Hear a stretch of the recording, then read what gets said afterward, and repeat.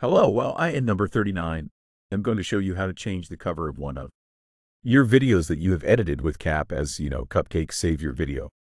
With one in case you want to change this cover because you done and number 39. Do you like it? I and number 39. I'm going to show you how to do it correctly on the cover or thumbnail.